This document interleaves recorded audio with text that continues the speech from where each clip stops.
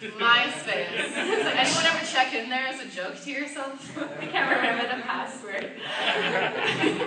but um, he got back to us like two days later, like, yeah, this looks awesome. Send me the whole thing. I was like, I guess I should send. And Jen was like, it's not him. And she was like, be sassy. I was like, I guess I should send it to your representation at CAA. He's like, yeah, yeah, send it over. I'm like, okay, thank you, Mr. Roth. he was very sweet. He uh, he uh, watched it. He got back from shooting Inglourious Basterds, and he's like, I was just gonna watch it for a couple of minutes, and I ended up watching the whole thing. I, I loved it. It was a blast. And then he's, and then later he was like, um, is it is this the final edit? Or are you open to some criticism? I'm like, yeah, I'll take some criticism. So I got. I, I, I did take some of it. Some of it I was like, oh, I don't want to say this, but I'm like, I actually don't like that, and I don't like this part. But this part is actually really smart, and. Uh, he's so nice. I mean, he didn't have to give us advice. He didn't have to be helpful. He didn't have to say, when people are like, oh, are there any independent women making horror movies? He didn't have to say the twins and Dead Hooker in a Trunk. And that changed so much for us. And then on American Mary, it was so funny. The only reason the movie happened was because of Eli Roth. It's not that he produced it or anything. I lied to him. He was like, well, he knew I was struggling with Dead Hooker in a Trunk, and I was like, can't pay for anything, I'm in the hospital because everyone's sick, and blah, blah. And he's like, well, just focus on your next movie. What scripts you have? It's like, I had nothing, but I didn't want to tell him, so I was like, I have so many. You tell me which one you want to read. I was like, this one, and this one about the medical student. He's like, the medical student one. I was like, oh, okay.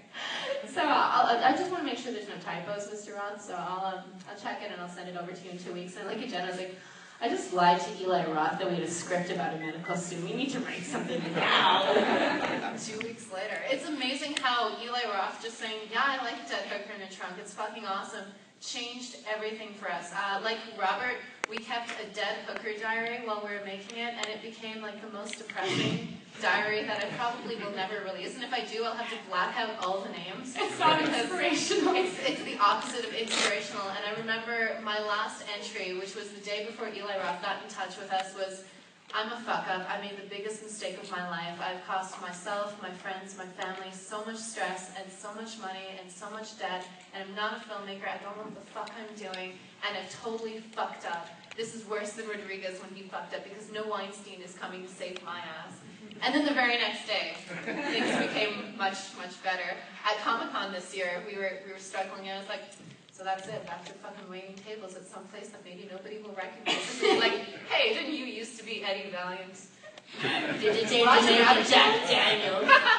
I did change my name to Jack Daniels for a while. I did admit to him that I lied, and he's like, well, you were able to pull it off. And guys, if you can lie and then pull it off, that's both movies. I mean, I mean, that's horrible advice, but if you can pull it off and lie, be like, I have it right now. That's the only bad thing about a lie. When you can't make up for the lie, if you say, yeah, I have ten cats, go get ten cats. just be safe. Even more cats showed up. So the lie is solid. I mean, the truth is solid.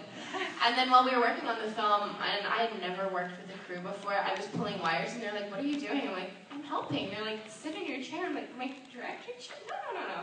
I just didn't. I just didn't know what to do. Every morning I would hug people, so happy that the crew came back. And just looked at me like it was crazy. When the first time we pulled up, I was like, oh, who's filming here? Oh my God, is that us? Holy crap!